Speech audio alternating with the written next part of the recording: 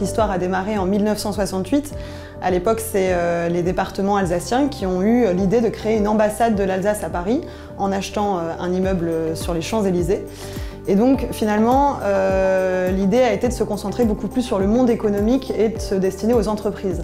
Et aujourd'hui, on a deux activités principales. Donc d'abord la gestion du centre d'affaires, puisque donc on a un centre d'affaires réparti sur quatre étages, qui se compose de bureaux, de salles de réunion comme celle-ci, ou de salons d'exception, un peu qu'on pourra vous montrer aussi tout à l'heure. On essaye vraiment de s'adapter aux besoins de nos interlocuteurs qui peuvent être euh, des grosses entreprises, euh, des associations, des institutions, alsaciennes mais pas que, ça je tiens euh, vraiment à le préciser parce qu'on se destine à toutes les entreprises.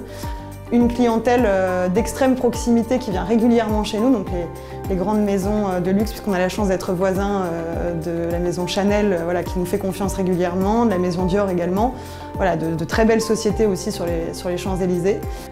et notre deuxième activité, c'est le rooftop, puisque quand les travaux ont été faits, il y a un rooftop sous verrière qui a été créé au, sixième étage.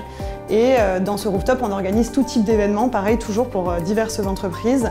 Donc euh, c'est très important pour nous d'avoir des systèmes sécurisés puisque on imagine bien pour les entreprises qui font appel à nous, la sécurité, la simplicité d'utilisation, c'est quand même deux, deux choses primordiales.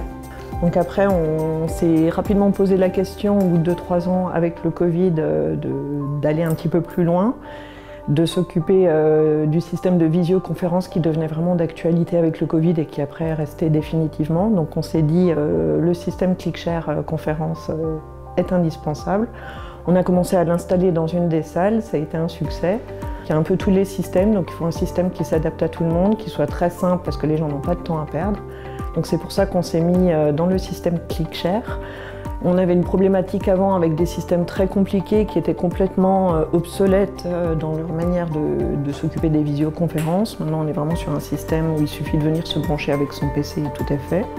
Euh, la Maison de l'Alsace, suite au workshop Barco sur deux jours, est désormais équipée du nouveau système ClickShare CX50 Génération 2 qui nous permettra d'avoir plein de nouvelles fonctionnalités et notamment ce partage d'écran qui nous est si utile dans le rooftop.